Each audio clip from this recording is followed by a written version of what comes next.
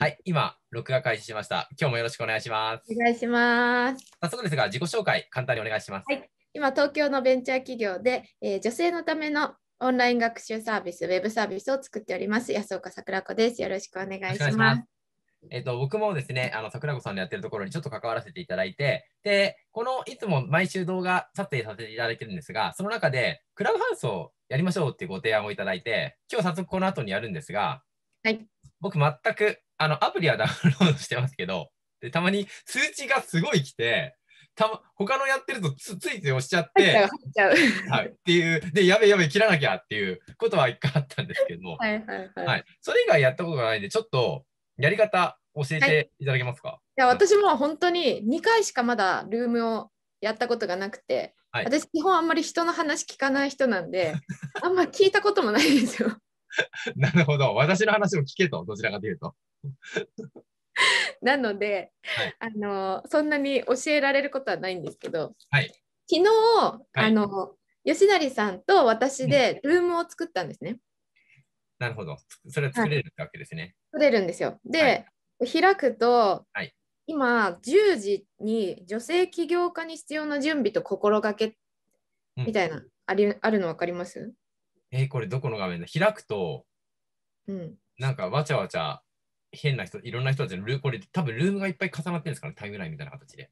タイムラインにあって、一番上に時間10時とか、Now, invite, invite。あれどれだろう、それ？えっ、と、いろんな画面ありますね。えっ、と、ベル、ベルを、ベルをしました。ベルを押すと、えっなんかいろんなと、自分が、イン、はい。自分がこうなんか、フォローというか、フォローしてる人の中でも、ちょっはいとこの人はポイントっていう人たちがどんなイベントをやるかみたいなとか、はい。あとは誰々さんにフォローされましたっていう通知みたいなのが10出て時女性起業家に必要な準備と心出てきました？出てきました。あったあった。ただちょっと結構が細かったんで、はいはいはい。見てなかったえ、これ押していいんですか？それを押すと、はい今日の私と吉成さんのルームがここに出てくるんですね。へえ。え、でこれ、ね、はい。スタートルームって押しても、別に僕が主催者なんじゃないから、別に問題ないですか？でスタートルームにすると入っちゃいます。あ、僕が入っちゃいましたね、今。はい。え、これ入っても問題ないってこと？別に問題はないですよね、何も。問題ないというか、もう始まってるっていう感じでこっちももしよかったら、ああ、はい。もう始めちゃって、はい。ちょっとまあいや別に始めていいですよ。お声が。すごい。ちょっとえー落としておけばいいのかな。そっか、こっちの声をちょっと下げとけばいいんですね。そうですね。はい。ちょっと変なことになるかな。はい。なるほど。わかりました。で、始めていくってことですね。そうです。で、今、吉成さんから入ったので、吉成さんに、はい。あの、緑のポッチついてるの分かります？はい。吉成の前についてます。これが部屋の主催者マークみたいな感じなんですよ。え、主催者ができることって何なんですか？何人かいるときに。主催者ができることは、はい。喋っていいよ、あなた喋っていいよ、喋っちゃダメだよっていう振り分けができるんですよ。え、ここで、向こう、お前いいよ そうそうお前出てけみたいな。えー、すごい。怖いですよね。怖いですね。ああいうふうにされて、そういう感じなんですね。そうなので、まず吉成さんが私のやつをタップして、タップしました。タップすると何が出てくるんだろう。Start a closed room together とか、following の、なんですかね、beautiful people make mother。私をあの同じ主催者にするみたいな出てきません、Start the view。えー、使えっ命。となんだろう？following の横、なんかいろいろ出てきますね。下下に下に、3個ぐらいなんか、あ、ありますね。下に3個ぐらいあります。それなんて書いてあります？Beautiful people make a moderator。モデレーター、モデレーター。それを押すと、はい私にそう、これでモデレーターっていう主主催者みたいなうんうんうんうん。になれるんですって。なるほど。そすごい。えーこれ、あの、みんなやってると、僕の知り合いで、なんかしがないおじさんとかでも、勝手になんか20人、30人集まってきて、で、こう、自己肯定感が満たされて喜んでたんですけど、えーそういうふうにみんな誰か来ないんですか？う。なんか、あのーやってるよっていうふうに皆さんに出るので、はいぴょこんぴょこんって入ってくることもあります。へえ私が2回、あのーシーサイドガールの講師の先生とやったんですけど、はいその時にはやっぱり講師の先生のお知り合いがもうピコピコピコピコ皆さん入ってきてくださって、はい。はい、過去2回は女性のトークで大盛り上がりしました。えー、じゃあ、そっか、フォロワーの人がいないと基本的には来ないんですか、やっぱり。あとは、えっと、事前告知が必要ですね。何時からやるよっていう、ここ来てねっていうのが、はいえっと、このクラブハウスって、インスタグラムとツイッターに結構、あのそうですねリンクが貼れるんですね。はい。で、えっと、これやってるよっていうのも URL で載せれるので、うん Facebook もしくは Twitter とかで、うん。このルーム来てねっていうのをやらないと来づらいかなっていうのはあります。これ、じゃあ、あれですか、自力で、その、あれです、このクラブハウスだけで自力でのし上がるとかって難しいんですか？基本的には。あ基本あの人のルームに行くのがいいって言ってました。ああ、そっか。そうすそこでいっぱいいるところで喋ったりできれば喋りたいですって言って喋って上に行くとなるほど。目立ってなるほど。誰だろうってこのクラブハウスのすごいところってこうはい喋りながらここタップするとその人のプロフィールとか全部見れるんですよなるほど。喋りながらそっか、これ、プロフィール、そっか。桜子さん、確かに書いてある。結構書いてあるじゃないですか。はいで一番下にインスタグラムとツイッターのアカウントを載せれるので、はいその場でじゃんじゃんフォローが増えてくんですよ。すごい。なんか、東京ガールズコレクションみたい。その場でバンバンみんな買っていくっていう。そうここがあの本来今までのアプリってアプリとアプリを開くってあの同時にできないというか確かに。何かを消してからじゃないと検索できなかったのがクラブハウスの場合はクラブハウスを開きながらうん。ツイッターインスタグラムに飛べるっていうのが私すごいなと思って確かに、すごいな。これ、自己紹介結構長い。実数制限ないんですか？ないんですよああるかもしれないけど、えー基本どこまでも行けますえー。はいそっか、じゃあこれ自己紹プロフィールを、え、今やりながら書いちゃった方がいいんですか？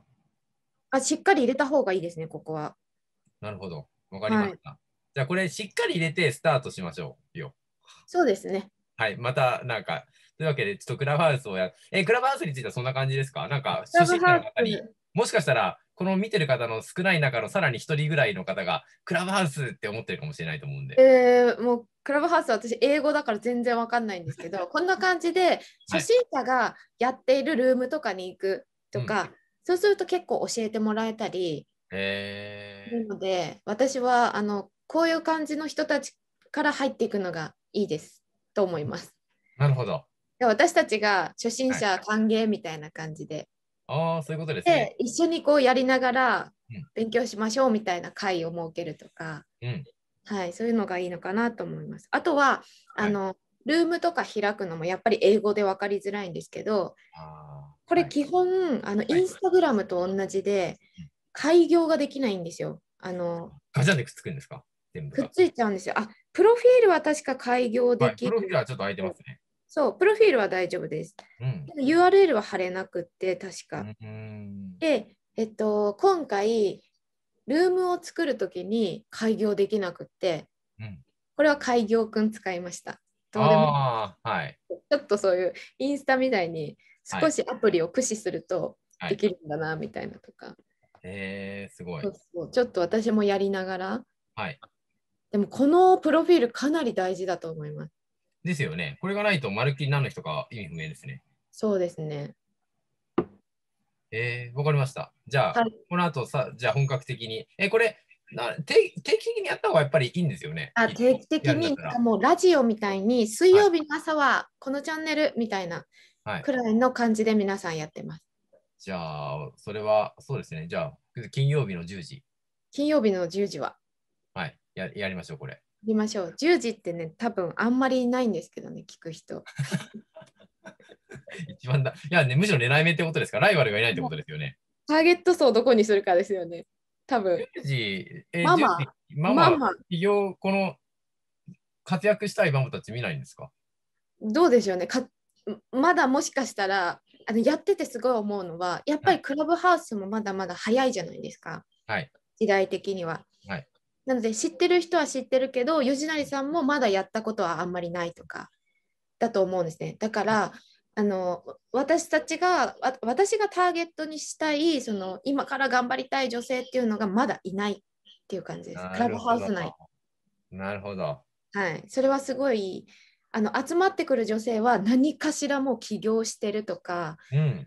昨日もすごい集まってきた女性が、うん、あの自治体400世帯をまとめてるママだったりおすごいですね。リーダーす。ごかったんですよ。でその方もあの回覧板回すのおかしいよねって話になってへ全部 LINE 公式にしたんですって話してていやうん頭いいみたいなえ。うんうんそそういう女性が今集まってるかなっていうイメージでうん。おー。なるほど。わかんないじゃあそういう方向けのタイトルの方がいいんですかね。そうですね多分ターゲット層的にはもうはい今からっていうよりははい。もうすでにやっておられる方っていう、そうですねかもしれない。ちょっと失敗うまくいかないあるあるについて話すとかですか？はい、昨日のタイトルは、はいえっと、女性活躍にオンラインは有利になるのか否かみたいな。で、あなたはスマホ派かパソコン派みたいな感じで、うんうん。皆さんとトークを繰り広げて、やっぱりお仕事されてる方はパソコンめちゃくちゃ使ってて、なるほど。一人だけスマホしか使ってないっていう方はもう全然話についていけないですみたいな感じで、へ勉え。強しますって言ってました。え、それは定期的にやったんですか？その。それは、はいえっと、そうですねあの、シーサイドガールの講師のマリコ先生と、なるほど。2週連続でやってて、うんはい。そこのマリコ先生とのテーマというか、やっていくとするときに、テーマは毎回決めようねっていう感じで、特に時間が決まってるだけで内容は決まってるわけじゃないんですか？内容は基本私が決めてました。マリコ先生一緒にやろうって言って、なので変な話、そのマリコ先生ってやってるのにドッキングして、はい私はシーサイドガールの先生たちとみんなでやりたいなと思ってるんですよね。そうするともう最初から人数集まってるので、はいそれだけでももうすでに面白い。なるほど。シーサイドの先生たちと喋ってる内容をはい。一般の方が聞いているっていう状態なるほど。